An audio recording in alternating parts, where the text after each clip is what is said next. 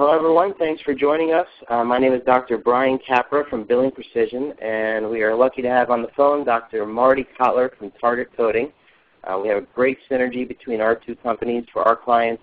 As you know, we're always dedicated to giving you the latest uh, information about compliance and documentation and coding. And uh, Dr. Marty Kotlar from Target Coding is one of the foremost experts in that field. Well, thank you, Dr. Kotlar, for joining us today.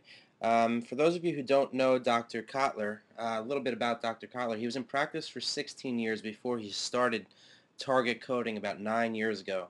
And since then, he's basically been traveling the country and lecturing uh, at Parker seminar seminars, at foot levelers, at various state associations. Um, he's certified in healthcare compliance, a certified coder. Part one is uh, the history, which is uh, what we're going to be going through today. Uh, next time, we're going to do examination findings, then the diagnosis, patient clinical goals, services to be rendered, the schedule of care. We're going to go through SOAP notes in Part 7 and reevaluations in Part 8. Part 1, which is the history.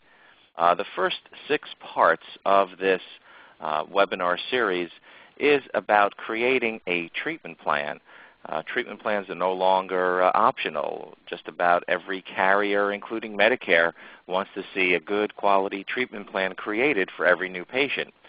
So it all starts with the patient's first visit to your office. First of all, when the patient walks in the door, they should fill out a good quality health history intake form.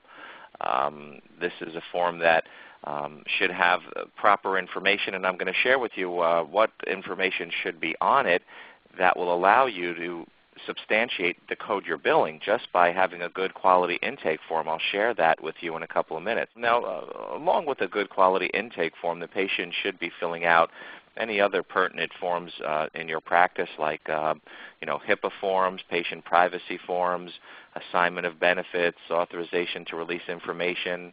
Um, you may have specialized forms if the patient's been in a car accident. Um, if you have, uh, if you take care of a lot of kids, you may have a separate form for pediatric chiropractic services. So after all the forms are filled out, now we're going to have these six items that should be uh, performed on the first visit, and that's the history, exam, diagnosis, short and long-term goals, list of services to be rendered, and the clinical rationale as to why, and the visit schedule. You see, when uh, I talk to a lot of chiropractors, they you know, when I say, well, tell me about your treatment plan, they typically say, oh, well, uh, I tell patients to come in three times a week for four weeks, and then two times a week for eight weeks, and then one time a week for 12 weeks, and that's my treatment plan. Well, that's not a treatment plan. That's number six on the, as, if you look on the screen here, you'll see the visit schedule. That's just one part of a treatment plan. Just giving out the frequency and duration of care is not a treatment plan. So I want people to understand that treatment plan is important. Here we go. We're going to start with step one, which is the history. There are four types of histories, problem-focused history, expanded problem-focused, detailed, and comprehensive. Now, um, the information that I'm going to be sharing with you is based on guidelines. There are evaluation and management guidelines that were created by the AMA and uh, CMS many years ago. These are the ones that Aetna, Cigna, United Healthcare, State Farm, Allstate, all the major carriers use these guidelines. So um, you want to make sure that you're aware of them and you start using them so you can justify the services you're billing and you can appeal if you ever get denied. First step is um, figuring out which uh, history that you perform. So I'm going to concentrate on the detailed history because that's the most commonly billed new patient code 99203. So what is a detailed history? I'll tell you what it is. It's, it must include um, a, a, chief complaint, four HPIs or history of present illnesses, two to nine systems must be reviewed, and at least one past history, family history, or social history must be part of your um, documentation for the first visit. So it must include a chief complaint, which is a concise statement describing the symptom, condition, diagnosis, or other factors that are the reason for the encounter, usually stated in the patient's own words. So Mrs. Jones walks into your office and says she has low back pain. Well, there you go. There's the chief complaint. Now you have to provide four items. If you're going to be billing out 99203, it requires four items to be documented about the presenting problem.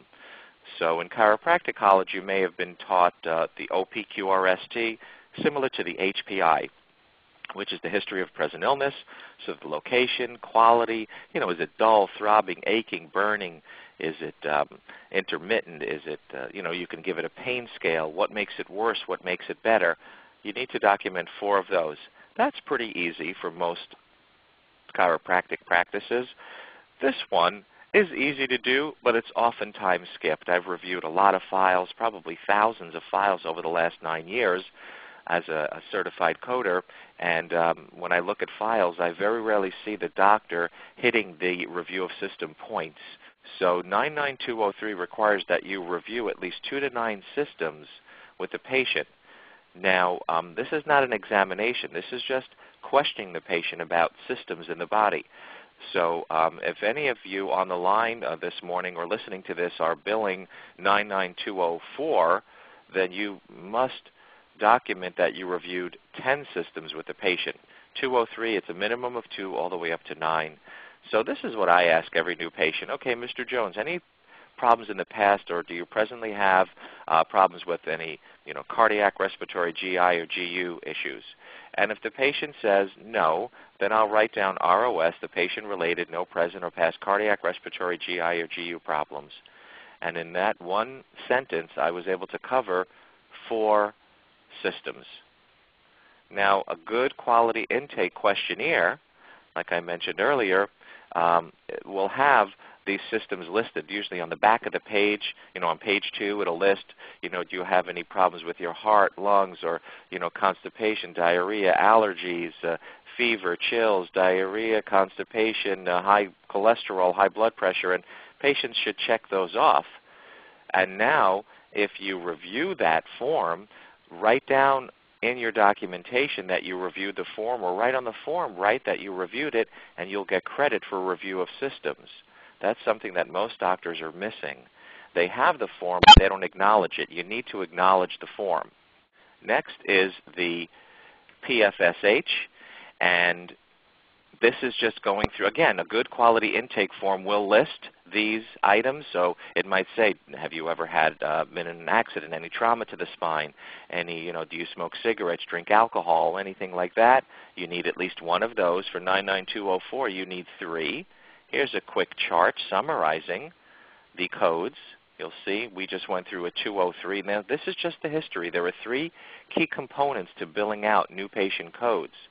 Key component number one is the history, component number two is the exam, and component number three is medical decision making. Here we have just the history, 203. You'll see it's about 30 minutes. One chief complaint, four HPIs, two to nine systems being reviewed, and one PFSH. The next slide is uh, you know, pretty comprehensive. You maybe you could probably even get away with a 204 if you stretched it. And this is Emily comes in with severe headaches and neck pain, and here are all the HPIs she said it started suddenly three months ago. She fell while bicycle riding and hit her neck and right shoulder against the ground, and her head got jolted very hard. So I take you through the HPIs. You only need four. I've given you probably about 12 here. And you want to use these as your baseline numbers, you know, like the pain scales and, you know, she cannot sit at the computer for more than 10 minutes. You'll see how I integrate that in future steps when we get to goals. Here's more HPIs. And then we have the last portion here, which is the review of systems. She related no present or past cardiac, respiratory, gastrointestinal, genitourinary problems. Patient has no past history of spinal trauma or surgery. Patient stated that her mother has osteoarthritis and osteoporosis. Patient smokes one pack of cigarettes per week. Target coding, uh, for those of you on the line that are interested in learning more about what we do, um, we do seminars, we do webinars, we have membership programs. Um, I've written um, eight books on billing, coding, and documentation for chiropractors and physical therapists. We have CDs, DVDs. We offer customizable forms and templates.